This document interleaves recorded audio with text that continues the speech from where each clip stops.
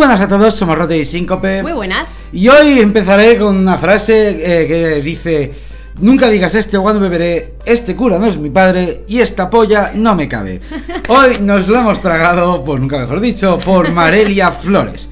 Digo esta frase porque, joder, cuando creías que ya no podías ver nada, nada más bestia de todo lo que ya hemos visto y de todo lo que, joder, mm, se puede hacer en el cine, aparece Melancholy Der Angel. La película eh, con menos moral, más depravada, más bestia que, que vamos, que, que creo que se haya hecho hasta, hasta la fecha. Desde luego, desde luego creo que sí, creo que esta es la que realmente se lleva el título de entre todas las que De tienen el título de la más depravada, la más explícita, la más inmoral y la más bestia Sí. visualmente. Y la que menos argumento tiene, también, Eh. hay, también hay que decirlo. Pero, a ver, esta es la pregunta más difícil. ¿De qué va Melancholy Der Bueno, yo voy como sinopsis, lo único que voy a contar es lo que vimos un poco en las primeras escenas y lo que creímos intuir. Eh, empieza con. Bueno, la primera escena no, la primera escena es otra cosa, pero bueno, comienza con dos, con dos hombres que conocen a, a dos chicas, eh, dos chicas jóvenes, adolescentes parece, en una especie de, feria, una feria un poco tétrica y demás. Les invitan a tomar algo, tal, y se lo llevan a una especie de, de casa, de cabaña alejada, en- en algún bosque. Y ahí eh, se juntarán con un anciano que irá acompañado con una chica joven en silla de ruedas y, con otra mujer eh, más madura y que le gusta bastante el sado. Y entre ese grupo de gente pues eh, sucederá la, la variopinta película. La película dura 170 minutos, ¿vale? Unas casi 3 horas. Y está grabada muy de forma fantástica. De forma. con fantasía, con poesía lírica, con. eh, la, la- la forma de hablar será todo el rato como en verso, será de esto. Pero no os equivoquéis, no hay ningún, ningún, ningún solo momento de la película donde haya eh, efectos especiales de, eh, de fa- fantásticos. Ah, es todo realista esta película. Exacto, no, no quiere decir que sea nada de ficción. Exacto, de ficción.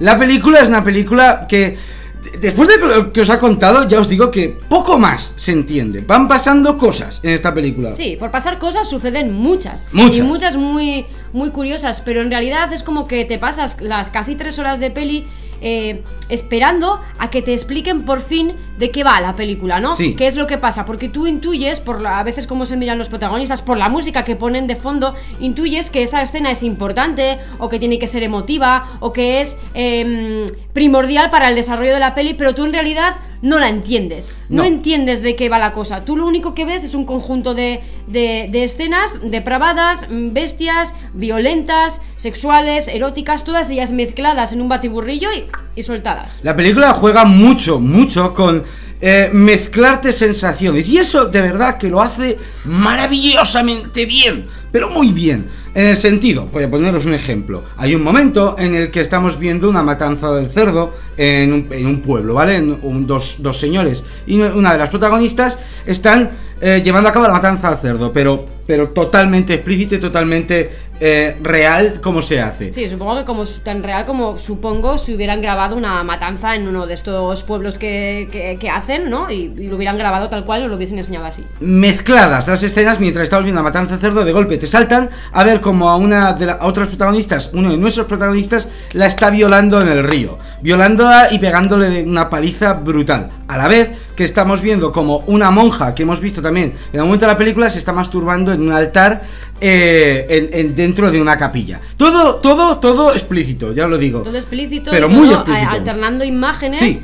Eh, cada, pues por ejemplo, yo que sé, cada 4 o 5 segundos, alternando escenas entre las tres historias que hay. Entonces, es una sensación muy rara porque eh, pretenden hacerte, yo seducir un poco o ver una imagen erótica de esa monja eh, masturbándose, desnudándose y como liberándose y tal.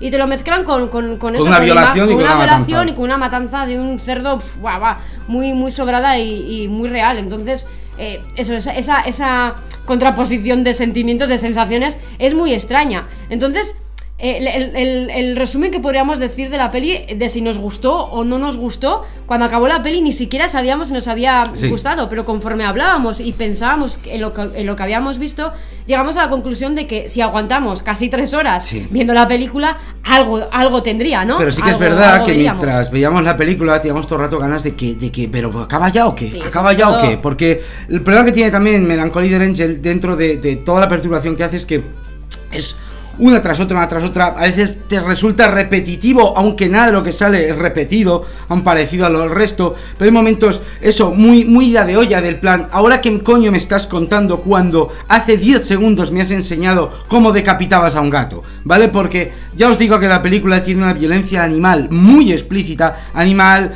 eh, humana y de todo, sabemos cómo... Ahí es- ahí, perdona, Sí, perdona. no, no, chafan insectos de todo tipo, ranas, gatos, eh, cerdo. Eh, ves una violencia animal muy, muy, muy, muy bestia. Que por cierto, ya hemos oído gente que, ah, es que no matan animales de verdad, ¿vale? O sea, eh, es más, os diré que hay una escena. Sí, que- yo ahí, yo ahí en la escena que va a contar Rotten del, del, del gato, eh, que- porque yo hay varias escenas de animales que fui mirando a, a trozos y eso que no suelo ver ninguna escena de estas de animales y en esta No, peli esta- sí. la- las quise ver porque, joder, si es una peli que tiene la mayor parte, tiene muchas escenas de esas, joder, tampoco vas a estar todo el rato apartando la mirada, ¿no? Y ahí en esa escena me quedé un poco La escena del gato. tranquila. Hay una escena, un gato que decapitan al gato y cuando enfocan desde arriba, porque la cámara también juega un papel muy raro en esta película, ¿vale? De enfocarte de sitios que dices, ¿cómo enfocas desde ahí? Pues desde ahí. Hay una escena que cuando han decapitado al gato y enfocan desde arriba y el gato se ve como a un lado, se ve como el gato se está moviendo y lo están acariciando desde abajo del plan quédate quietecito que estamos grabando. Cuando vuelven a enfocar al gato, ves que sigue decapitado y así con, con la de esto muerta, ¿vale? O sea, no han matado al gato. Y no matan ningún animal. Aparte que sería ilegal matar un animal. La única escena que sí que estamos un poco ahí era la matanza al cerdo. Porque como eso sí que se hace en los pueblos y tal, que, que no digan, no, no, hemos grabado una matanza de un cerdo y punto. Sí que es verdad que alguien me lo dirá, en Holocausto Caníbal, sí, matan a la tortuga y un mono. Era de los años 70, es diferente, esta es del 2009. Y esas Cambia cosas ya son ilegales y no, y no se pueden hacer. De todas formas, ahí hablamos de, la- de las escenas de violencia animal, pero también habrá que hablar de las escenas de violencia con humanos. Quiero decir que vemos bastantes cosas muy explícitas también y muy reales eh, entre, entre el grupo de nuestros protagonistas. Y, y ta- y también entendemos que no son reales, quiero decir, que entendemos que los efectos especiales y los efectos de maquillaje y todo lo que hagan, o sea, van hasta el punto de- de- del realismo de las escenas, de conseguir esas escenas reales con humanos y también, lógicamente, con animales. Entonces, pues nosotros eh, eh, tenemos la idea de que, lógicamente, nada de lo que hemos visto en esa película es real. La película sacan unos ovarios en, vi- eh, en- en vivo y en vida. También hay que decir que entendimos que eso era un ovario. Sí, bueno, yo primero entendí que era un cigoto, ¿vale? Que era. Pero era un no tenía sentido. Pues que no tiene sentido nada, pero luego caímos, pensamos que eran unos ovarios. O sea, Sí. ¿sale cómo le saca unos ovarios en vivo a una chica? Es que es muy hardcore. Sale eh, urofilia, ¿vale? Sale, bueno, eso de que se meen encima de la peña, pero Sí, eso es muy sobrado. De la peli tiene una obsesión por mear. Y cagar. encima de los otros, eh, desde luego descomunal y con unos chorros potentes de pis que dices, hostia, ha tenido que prepararse bien los actores para mear así. Sí, sale muy transparente el pis, así Muy que se nota que, sí, sí. que se han, han comido mucho eh, cosas para poder mear así, porque se mean unos encima de otros, muy bestia. Cropofilia, ¿vale? Tienen escenas de comer mierda, de cagarse encima unos de otros, totalmente realistas, me creo que eso ha sido así, porque, total, esta es una película, lo haces, luego te limpias y punto. Encima queda la película hiperpoética, hiperartística y de las más, de verdad, de las más bestias que, que se ha podido hacer en la historia. Ahora que aprovechando que hablas otra vez de, de que la película es poética y que está narrada un poco así como en verso, eh, diremos también que tiene muchísimas referencias esta, película, referencias eh, a novelas como por ejemplo, eh, ay, se me acaba de se, se me acaba de ir la olla. 120 días de Sodoma de Marqués Sí, de bueno, Sade. eso es. Iba a decir otra novela porque esa era la película que era.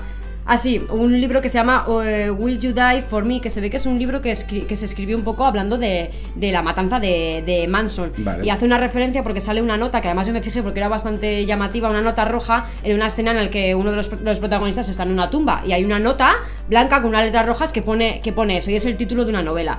Hay un montón de referencias Pero a mogollón. filósofos, a, a eso, a, a poetas. Eh, a directores de cine, a escritores, a de todo. Voy a poner aquí, ¿vale? Las que hemos encontrado, las pondré un poco Mm. por aquí para que lo veáis. Y aparte, ya fuera de esto, el director Mari Andora eh, fue amenazado de muerte después de hacer esta película. También ganó un premio a la mejor película del Festival Internacional de Nueva York en 2009. Y también es eso, la mayoría de la crítica habló de esta película, una película que dentro de que es una película que no se entiende, porque no se entiende, porque en No. realidad es una- un batiburrillo de, de conceptos, de ideas, de metáforas, de hostias. Sí, yo creo que Marian metió todos los, los Todo. conceptos de, de filósofos y de poetas y de novelas y de libros que le gustaban y lo mezcló, lo mezcló todo. Llevado a, a la vis. Pero de verdad que es muy hardcore. Hay una escena con una minusválida que os podéis cagar en la puta. Lleva, para mí es la peor escena de todas. Esa vale, es lleva, lleva peor. una de estas bolsas eh, de que tienen que cagar por. Lleva por- una colostomía, eso es. Colostomía, Como exactamente. un trozo de intestino afuera a, a- a la vista en el abdomen y por ahí, pues eso, por ahí lleva una bolsa y por ahí es por donde hace hace sus cacas. Entonces le, le- le mete los dedos por ahí y es horrible como grita la tía, es horrible la escena. Y bueno, para mí esa desde luego es la, pues, la peor con diferencia. Hay una escena incluso que te ponen, te ponen la cámara encima de la polla de uno de los actores, la polla real de uno de los actores, por eso digo que es muy explícita, no es esto de, como a Serbian Film, por ejemplo, que ponían, eran eh, pollas hechas de... eh, no, eran las reales, quiero decir, en esta sí, en esta todo se ve real de verdad. Eh, que mientras están quemando a un hombre en vida, está quemándose vivo, eh, lo están masturbando y meándose a la vez que se corre. Es muy hardcore, de verdad. Pues a todo esto, ya para terminar, quiero decir que esta película está en YouTube. Sea, Ah, sí, claro, no me acordaba de ese en detalle. puto YouTube, sin censura, Exacto. de ningún tipo. Que sepáis que la vimos ahí tal cual y que, y que después, no, no entiendo cómo YouTube no ha censurado esta barbaridad No sé. cuando censuran cosas muchísimo menores Sí. y que no tienen importancia y esta barbaridad de película está ahí para que la vea todo el mundo y todo Lleva cuatro años en YouTube con 600.000 visitas. Sí, sí, que no es que se les haya colado, vamos. Nada, nada, nada, está ahí, está ahí, buscarla, yo no os voy a decir dónde, Pelanco Leader Angel, la buscáis. Eh, si la queréis ver en castellano, le ponéis subtítulos automáticos, que de verdad que los traduce bastante bien. Y luego quería decir, Roten, por acabar ya, unas curiosidades, aparte Por de la que has dicho del director de Marian Dora, también quería decir que él, él, Marian, era el único que conocía realmente el Sí. guion de la película. El resto de, de personas que participaron, de actores que participaron en la peli, no lo conocían. Y también se dice por ahí que en el set de, de rodaje lo que más abundaba para hacer esta película eran las drogas y la violencia. Sí. O sea que probablemente sí que eh, se drogaron bastante y se sobrepasaron mucho los límites para poder hacer un rodaje tan realista como se, como se consigue aquí. Así que nada, eh, Mariela, de verdad que muchas gracias por de- recomendarnos, por decirnos que veamos Melancholy del Angel. Eh, por mi parte, creo que por, por los dos Sí, sí. nos la tragamos Sí, totalmente. Pero decir, la película cuando la vimos, no, o sea, la peli como peli no nos gustó. Exacto. Hasta ahí, hasta ahí estamos todos de acuerdo. La peli no es una La- peli agradable de ver. Exacto, la- y, la, y la peli además, aparte de que no es agradable de ver, la peli no cuenta nada. No. cuenta nada, no sacas ninguna conclusión, no te enteras de nada. Nada. Entonces, una película en la que no te enteras de nada, por muy eh, chocante visualmente que sea, al final, pues, pues no, no, yo necesito que me cuenten algo más, no simplemente ver, ver depravación humana. Quiero saber por qué quiero, veo esa depravación humana. Entonces, en ese sentido, la película no nos gustó. Pero sí que es verdad que no estuvimos las tres horas viendo la peli. Exactamente. Y que esas sensaciones tan raras que tuvimos después y eso, pues mm, casi ninguna película o ninguna lo ha conseguido. Exactamente, por eso no la tragamos, porque la película nos alegramos de haberla visto. O sea, es una de esas pelis que dices, joder, suerte que la he visto. Al menos puedo decir que la he visto. Y es más, yo he dicho a gente que la vea sabiendo que no, que no gusta. Pero sí que es verdad que agradecemos mucho haberla conocido, haberla visto y hablar de ella, porque tiene mucho, mucho, mucho, mucho de lo que hablar esta película. Ay, por último contaré una anécdota que me acabo de acordar. Eh, cuando acabó la película no sabíamos muy bien por dónde cogerla ni, ni, ni qué habíamos visto. Porque era nuestra conversación durante las tres horas fue en plan de ¿Pero qué ha pasado ahora? ¿Pero qué hacen? Pero este, pero este no había muerto. Pero, pero, pero, pero, este qué hace aquí? tío. Pero este no estaba no sé dónde. O sea, nuestra, nuestra conversación, lo poco que hablábamos era siempre eso porque no nos enterábamos de, de nada. Sí. Y lo curioso es que cuando acabó la peli busqué un poco a ver de qué- pues a ver qué ponía en la sinopsis porque es que nosotros ni siquiera habíamos leído la sinopsis para, para ver esta peli y la primera línea que ponía que nuestros dos protagonistas, los dos que, ven, que os he contado que vemos al principio en la feria que conocen a las dos chicas, son dos ángeles de la muerte. Entonces en plan de Tócate Ah. los huevos. Y fue en plan de, ah, haber empezado por ahí. Es que, claro, son dos ángeles de la muerte. Entonces, claro, todo cobra sentido. A ver, no cobra sentido, cobra un poquito más de sentido porque sabes de la base que partes, ¿no? Que son ángeles de la muerte y lo que pretenden es un poco eso, deshumanizarte con, con- con el dolor y quitarte tu parte humana para que te conviertas en un ángel de la muerte y solamente quiere tu alma, ¿no? Bueno, algo así es lo que se intuye, lo que intenta contar en la película un poco eh, de forma muy, muy, muy poética, muy referencial y muy, pues eso, pues como le ha salido de la gana al director. Así que nada más, ya sabéis, si queréis de- decirnos alguna película, pues en la caja de comentarios o en el hashtag en Twitter con Nos lo tragamos por ti. Lo dicho. Ah, esto era no lo tragamos por ti, no era, no era una autopsia, No. Ya, ya, ya, Ah. es que teníamos que hacer largo, lo siento, esta peli, tres horas de peli dan mucho para hablar y sobre todo esta. Así que quiero acabar con la misma frase. Nunca digáis este, cuando beberé de este cura no es mi padre y esta polla no me cabe. Gracias, Síncope. Como siempre a ti, Gracias. Mariela, gracias a todos vosotros y nos vemos en la siguiente. Al agur.